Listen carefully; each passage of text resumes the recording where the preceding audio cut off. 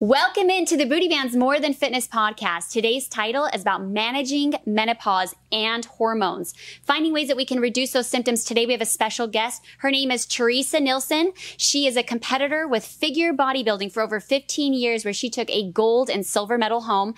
She is now 51 years old and she struggled with her menopause for over 10 years. And she's going to come in and help us really understand the managing side of it, help us so that we don't have to go through all those mistakes and hopefully take one thing away from today's podcast that can help us be able to manage it a lot better. Booty Bands and Barbells helps busy women sculpt and tone their bodies in just 15 minutes a day through our physical products and our one on one coaching.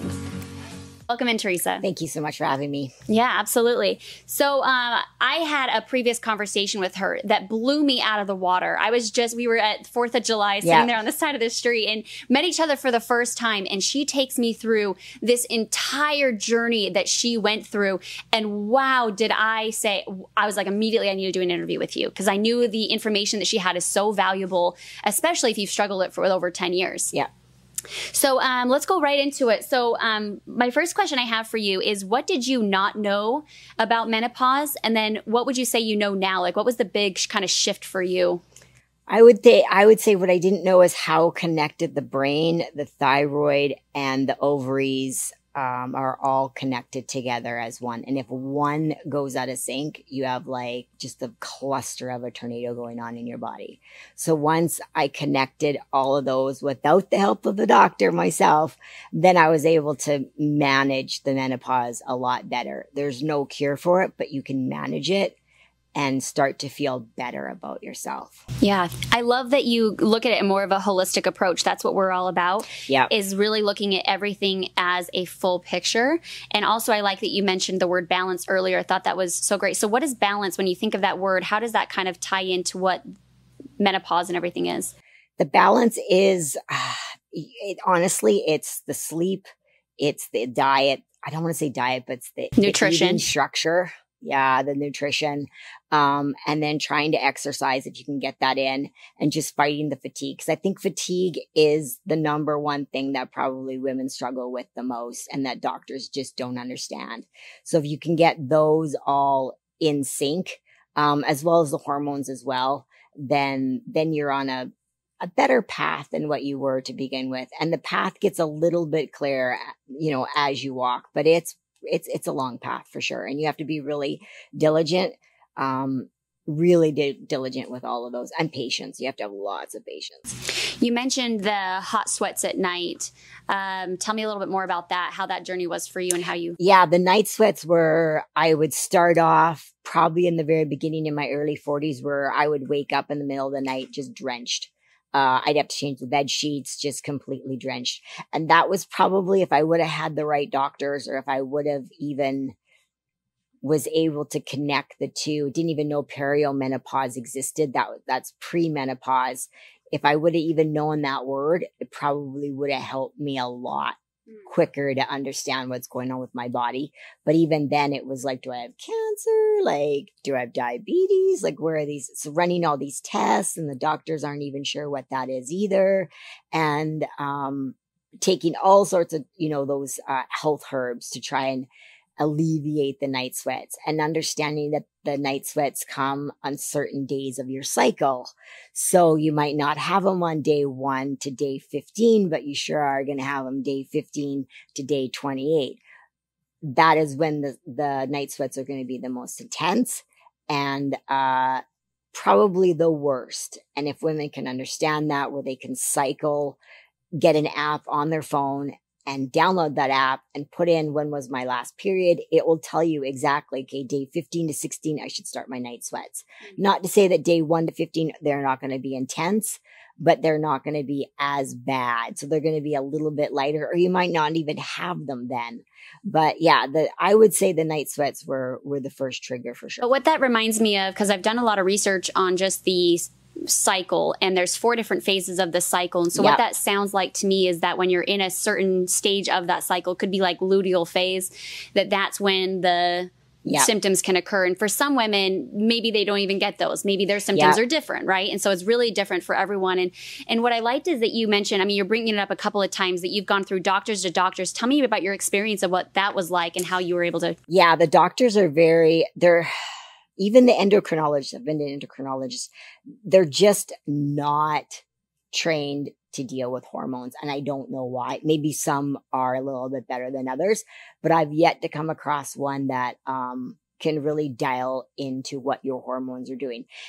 You have to just be pro advocate with yourself. And the other thing I learned is you're going to go through a slew of doctors and that is okay because sometimes one doctor might be okay for a few months and then they're not listening to you anymore. Mm-hmm. They get maybe a little bit I don't want to say lazy, but they get a little bit, this is my way. Who are you to tell me? I'm the doctor. You're the patient. I'm the one with the certificate, but they're not the one sleeping with you beside the bed fan, eating at four in the morning because you, you're hungry, right? Because you know, if you're hungry with night sweats and you have fatigue, your hormones aren't balanced. Like there's something wrong with you. And you know that it's the same as being pregnant. You know, when you're pregnant because you're eating peanut butter on fish. Why are you doing that? Because your hormones aren't balanced anymore because you're busy making a baby. Well, the same thing is with menopause. Your hormones aren't going to be balanced because, well, they're taking away the baby phase. You're not going to make a baby anymore. So the doctor journey is hard and long and you have to just be prepared to go through lots of different doctors and go in there with the knowledge. Like they tell you not to Google anything. I say Google it because sometimes it does help. And sometimes you have to Google things in order to try new things that they don't know anything about or they don't, a lot of them don't like, um, don't, you know, they don't want you to take supplements. They just want you to take the drugs. So they don't want you to take any herbs or anything like that. They, they don't believe in the holistic medicine, but I'm telling you, you need both. Or sometimes you just need, sometimes you just need holistic for six months. And then you have to, the next six months, you have to go on the drugs or you have to stay on the drugs and just, it, honestly, it's just listening to your body and not sort of listening to the doctors. I wouldn't say not listen to the doctors, but they really rely on blood work and blood work. It, it's there to help, but it's, it, you have to listen to your body because my blood work even said there was a point where it, it said that, uh, my thyroid was fine, but it wasn't fine. Even though the blood work said it was fine, you can still, you know, be hypothyroid or hyperthyroidism without the blood work showing it.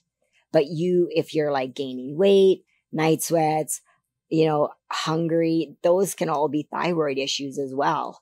So, like I said, you have to really, um, I even went to Mexico and got Cytomel T3 to take and brought it back to Canada because I couldn't get a doctor to listen to me when I knew it was my thyroid that was causing me my tr- my problems. Um, and just like my throat, my voice has changed. I used to have a squeakier voice. Now I have a deeper voice. That's from hypothyroidism. It's completely changed. Like, um, everything about me when it comes to hypo. And I believe what I've read and, and what I've gone through is that when you're estrogen dominant, the estrogen dominance can shut down your thyroid. Oh wow, yeah, and yeah. I want to go into that. You really talked a lot about estrogen dominance, which I'm really excited. That goes in leads into our next topic. But you were mentioning tests that before I go to the next topic is um, you were going through tests of like you mentioned there's blood work, but then you were telling me that there's hair, so DNA. There's also yeah. uh, so you named you a few saliva, and honestly, I would do I would do all three. You have to do saliva, hair, and blood.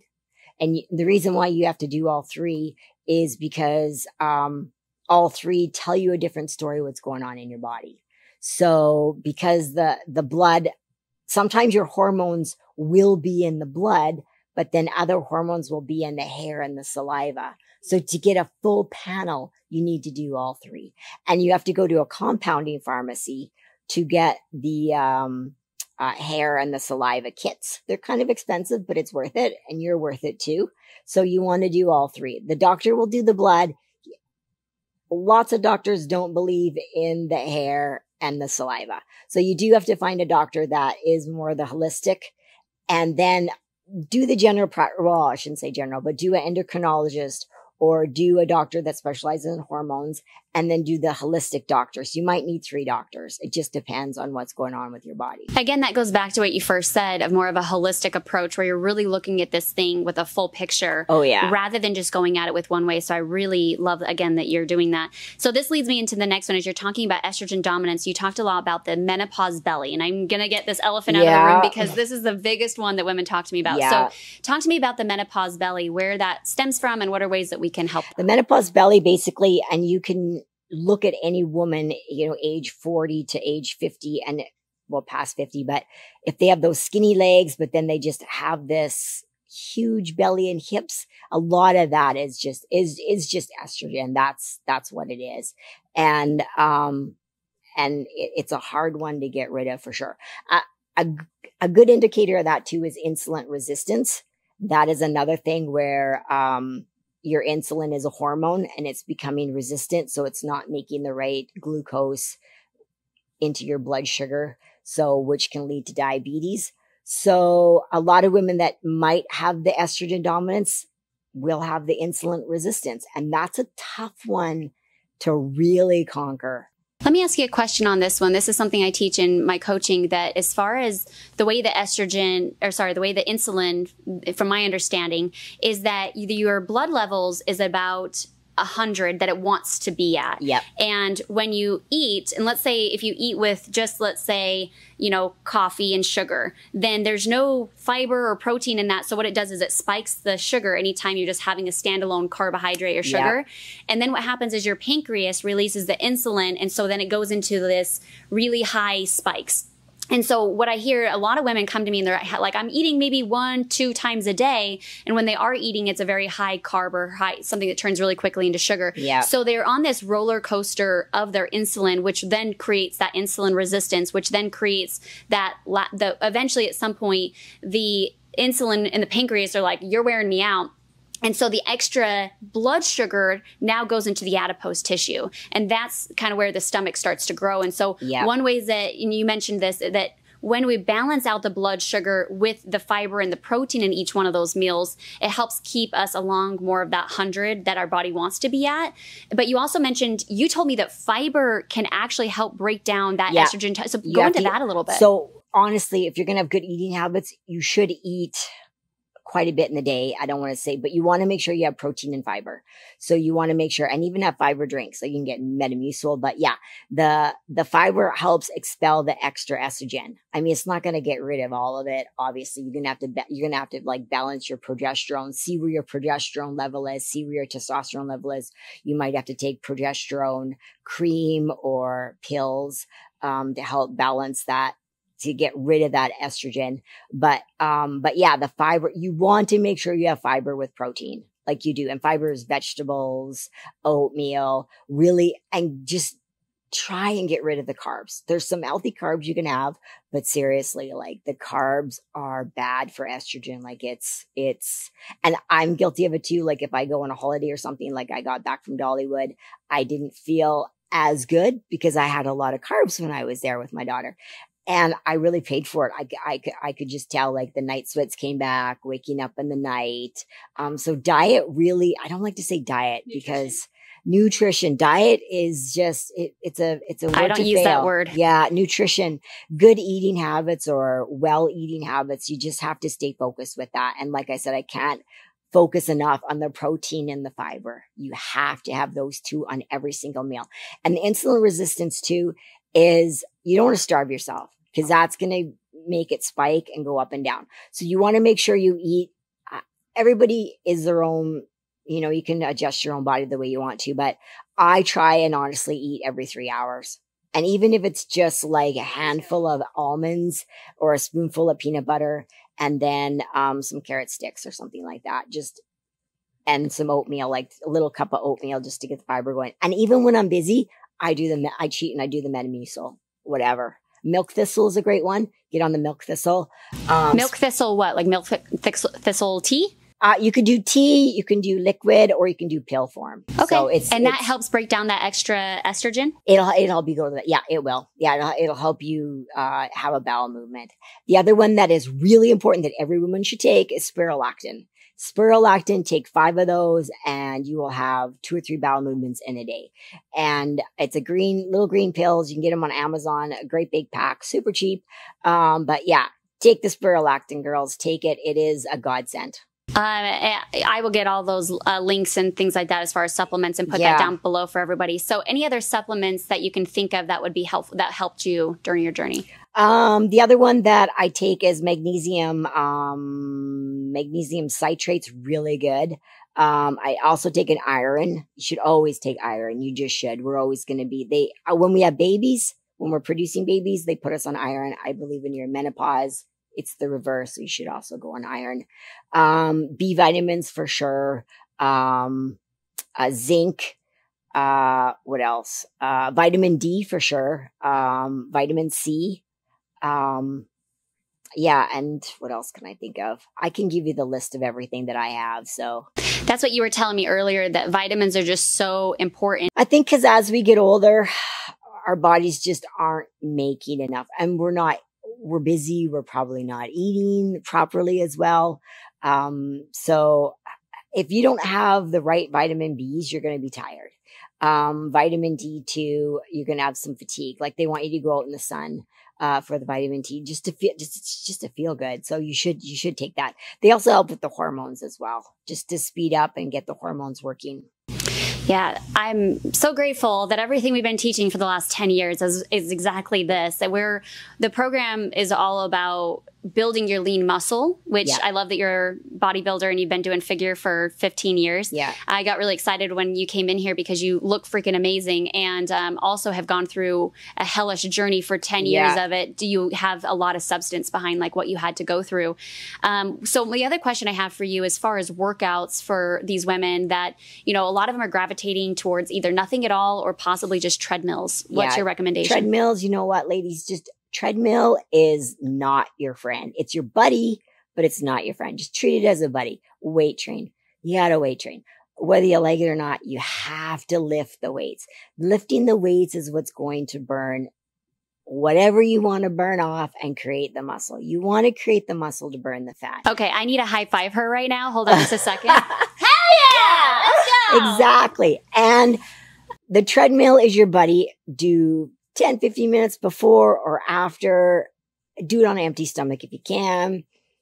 Not everybody has a treadmill at their house. So just treat it as a buddy, but don't get on there and just think you have to do 45 minutes and an hour. It's just, it's counterproductive as to what you're doing. You're just spiking your insulin resistance even worse than what it was before you got there.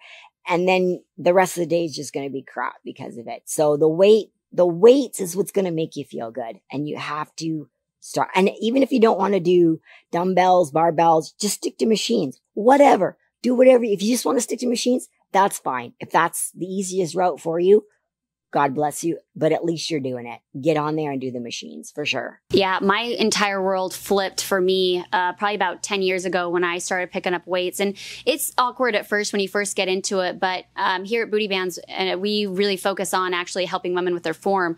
And that's what we sell is booty bands and barbells. Yeah. That's our equipment. And we pride ourselves in really helping those that don't know what they're doing to actually start feeling confident and the power and the, the uh, confidence they start to get when they start lifting amazing. So appreciate that yeah. because you look amazing. And so again, hearing it from somebody that's uh, in their 50s and being able to be like, girls, I mean, she told you. And that's why I said if you're a little bit subconscious about the, the barbells, the dumbbells, you don't know where to start, it's overwhelming machines are great. You can hide behind machine. Nobody's going to watch you on a machine. You can do, you can do some shoulder sets. You can do some arm curls on the machine.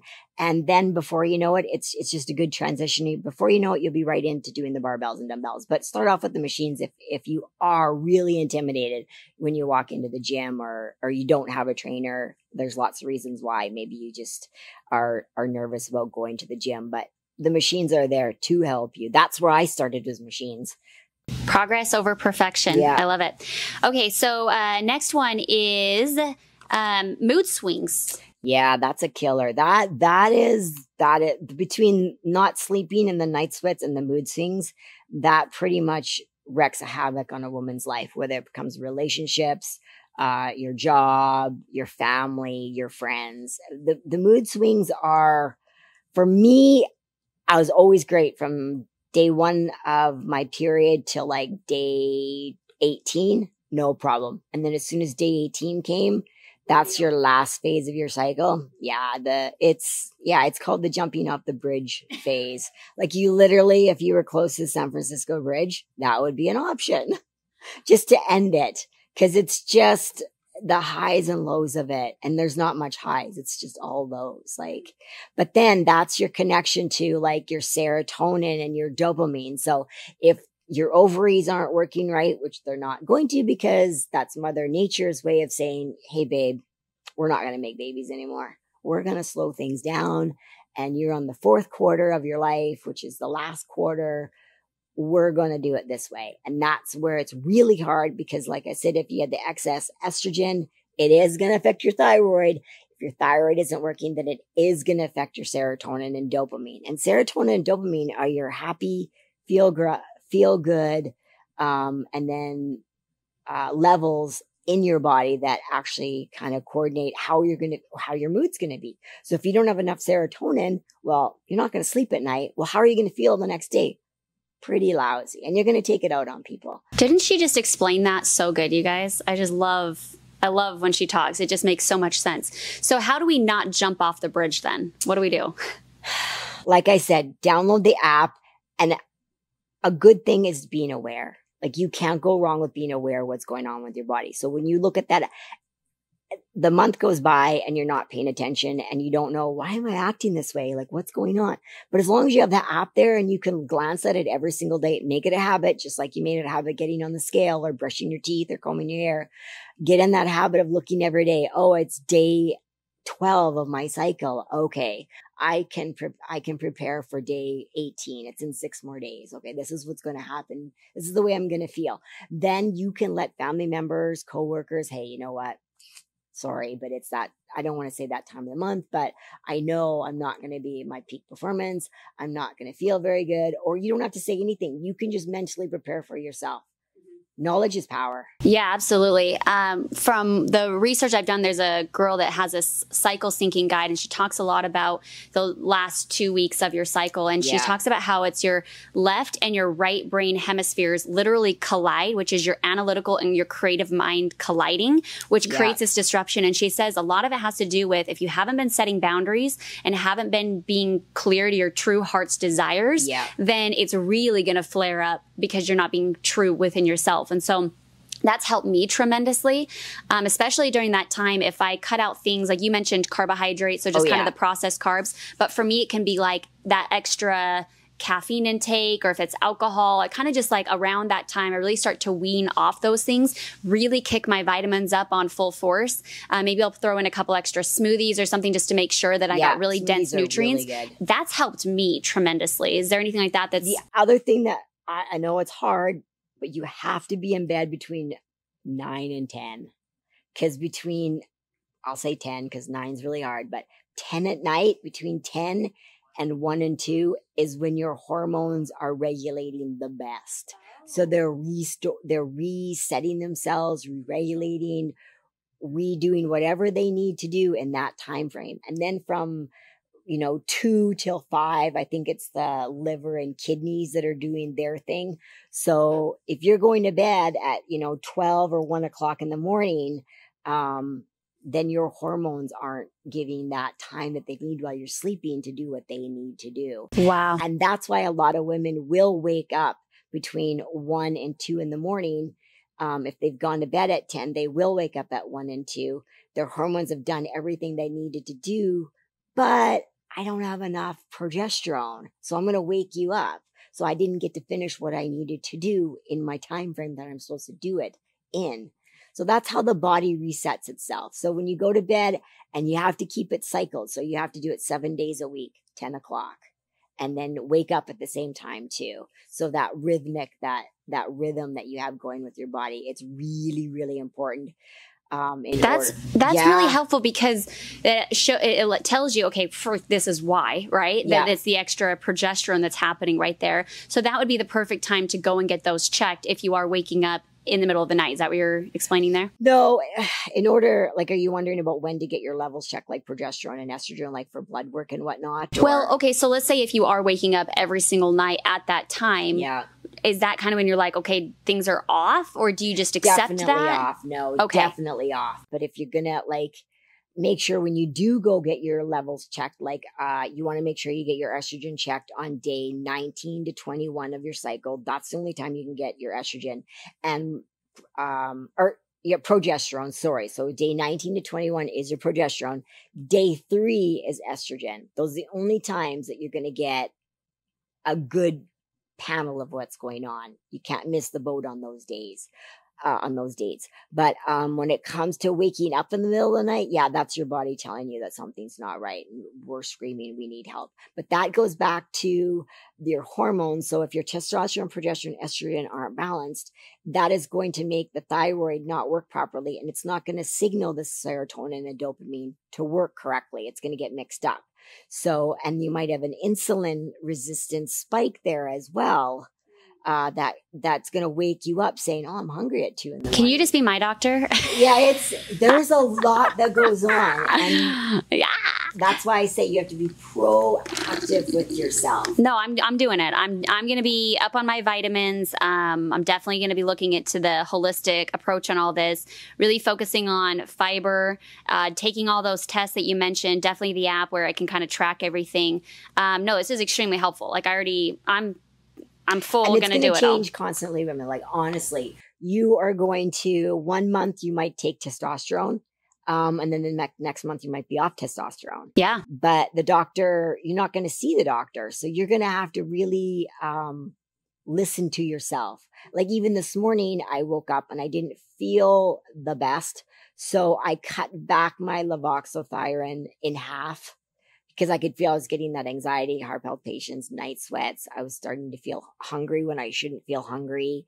Um, and so then I definitely knew it was something to do with my thyroid. So that's why I said just listen to yourself. Even if the doctor says, "Oh, we want you on 150 milliliters of of estrogen cream," um, and it's not working for you, and you know it's not working for you, don't listen to them. Just you have to figure it out for yourself. You already kind of talked about uh, natural ways, whether that's um, the synthetic versus natural. You already kind of touched on that, having uh, a mix of both, or kind of just obviously to listening both. to your yeah. body. The other thing, um, you mentioned uh, bioidenticals. What's your thoughts on that? You need them. I, I, was really anti about that because of cancer and whatnot. But uh, from what I've learned, what I've experienced, you you can't go. You can go without them. It's hard even on them, it's tricky. It's not hard, it's tricky. I don't know if I want to go hard. I'd rather go tricky. So I'd rather like get rid of a couple of the symptoms so I can get to the gym and feel good that I've, okay, now my pants fit, you know, versus maybe they don't. That feels a little bit mentally draining when your pants don't always fit. As a woman, you want to be able to, you know, fit into your clothes. That's, that's a huge thing for us. Mm-hmm. Um, but yeah, so you're you're gonna need bioidentical. You just are. I've tried both, and um, I've tried where I, I try to stay away from the estrogen though. That's what I try and tell the ladies is unless you're at an all time low on your blood levels, I, I just think it it's trickier to get rid of the estrogen dominance than it is to bring up the progesterone. Okay. So take the progesterone and it'll help balance your so if you can get your progesterone up it will help bring down the estrogen that you have wow. okay, good. yeah because estrogen dominance when you start taking bioidentical hormones for estrogen if you have estrogen dominance or it can create estrogen dominance that's a lot harder to control than what the progesterone is Okay. Next one is um, so we have a gal looks like she had a full hysterectomy and she's currently taking estrogen. She said HRT, and she said, "Is it possible that I would still be having menopause symptoms?" Yeah, you know what? And I was thinking about that. I have a girlfriend who went through the same thing as what she did, and the doctor put it on estrogen, and the estrogen caused her to have all the menopause symptoms because the estrogen is such a powerful drug. It mm-hmm. truly, truly is. That's why when we conceive and have babies, uh, the estrogen, I can't remember, is it the estrogen that's taken away and the progesterone is, is spiked in there. And when you don't have enough progesterone, that's when you miscarry. So that's why when we have babies, we have an increase in progesterone in order for us to carry the babies. So if we have too much um, estrogen, we're going to miscarry. And the estrogen is really not our friend. Got it. It is not our friend. No, super insightful. If somebody's going to a doctor and they're putting them on just a bunch of estrogen, I mean, how Yeah. how great that to have that information. All right, we just want to do a little disclaimer here. Now, obviously, Teresa is not a doctor, but No. she went through ten years of her own struggle, and she obviously has friends that she's been able to connect with. And so, I just appreciate you taking the time out of your day Sure. today and Yep. just giving us whatever valuable information, little nuggets you guys were able to take off today, that is ultimately the goal here is to feel more in control and help manage ourselves as we go through this process. I think Yeah. there's definitely some information I took, and I just wanted to say thank you for that. So uh, we'll make it easy for you guys and just kind of drop down um, any of the links that she gives me as far as supplements, those vitamins she mentioned. I will throw all that down below, so make it all easy for you guys. And um, is there anything else that you'd like to say if anybody's anything else that you feel like maybe you've missed that you would like to add? No, but I just want to stress listen to your bodies and don't always listen to what the doctor says and get three different type of doctors. Do the endocrinologist, do the holistic, and just uh, do the hormone doctor too. Uh, if you can find a really good hormone doctor, great. They're hard to find though. They they really are. I, I can't stress that enough. Um, and just research the heck out of everything because everybody's body is so different. And that's why I said listen to yourself. Like know what's going on. Know um your sleep patterns, your eating patterns, you know, what hormones are doing what in your body. The other one that is really good to get tested is um your HGH, human growth hormone level. That's that's really important. And um and don't don't feel bad or ashamed if you have to go on um like steroids. It's not it's if it helps you and makes you feel better in the day, by all means, take the testosterone, take the HGH, estrogen, progesterone, take whatever you can do to lessen the symptoms that's making you feel the way you're doing. Even thyroid meds, you might have to go on. I think a lot of women do have to go on thyroid meds. It's just part of the snowstorm. So a lot of women are being prescribed from the doctors antidepressant. What's your thoughts on that? Yeah, that's the old school way. And that's again, they're only educated so much on hormones. They take one class, from what I've learned, the GPs take one class on hormones, and then, you know, that's all they know. But that's the first thing they're going to say is let's get you on a birth control and let's get you on antidepressants. Stay away from birth control. Do never, I know you took birth control is probably the worst thing you can do for your bodies. So as soon as you, as soon as a doctor says, okay, let's get you on antidepressant and the birth control and then contact me in three months. We'll see how you're doing. Stay away from both of those. That is the worst thing you can do for your body. Um, then uh, ask your doctor if you can, if there's a hormone specialist that you can go to, and then start your journey that way. Okay. But you can't get into the hormone specialist until you go to the GP because you have to get the referral. Okay. So, and if that GP is offended, then you find another GP and you just keep going until you find the doctor. Like I said, you might go through a slew of doctors. I left Canada to come to the US because the Canadian doctors weren't helping me there and I knew they weren't helping me. And it's a lot better here. But again, still, you have to self advocate for yourself. And like I said, I'm not saying not everybody has to be on or off antidepressants. Everybody's different, but I know that the hormones and the dopamine, serotonin, and your thyroid definitely have a connection as to why um, the brain isn't working the way it's supposed to be. It's ju- definitely all connected. And I'm not a big um ad- advocate of taking antidepressants it's just masking the problem Yeah. it's just putting a band-aid on I agree with you. I had a friend that was told she was on birth control and they were trying to give her antidepressants. yeah And she goes, I don't feel like I'm wanting to do this. This doesn't feel right. So she went off both and now feels a lot better by just holistically managing it herself. Yeah. So double confirmation there. So thank you. try and take uh pretty much ashwagandha is the one that would help you with the night sweats but other than that it's just again listening to your body avoiding certain foods like carbs try and stay away from starchy carbs it's really hard though because when you're i call it cycling with menopause because it is a bit of a fair Well, there you have it, you guys. Um, hopefully, there was something you learned for today. Thanks for jumping with us, Teresa. And uh, we'll be in touch. Um, for those that are needing a little bit of some support, if you're starving yourself, obviously don't. Um, come check us out here at Booty Bands and Barbells, and um, we'll put all the information down below. You guys have a great one. Thanks for jumping in. Bye.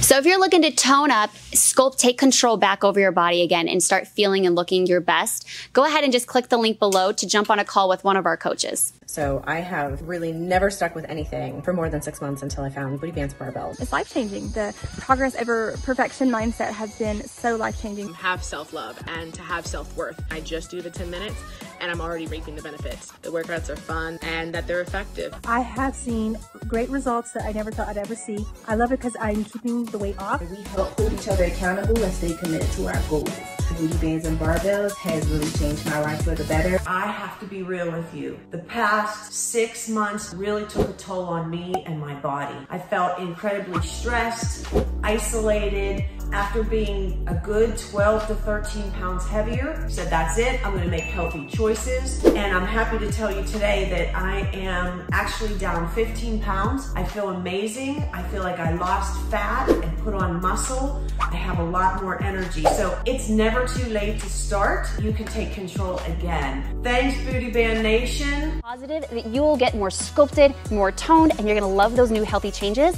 and our community and our coaches. From where you're at, no matter where you are, or how long you've been in the position. So just click the button below to book the call with our team.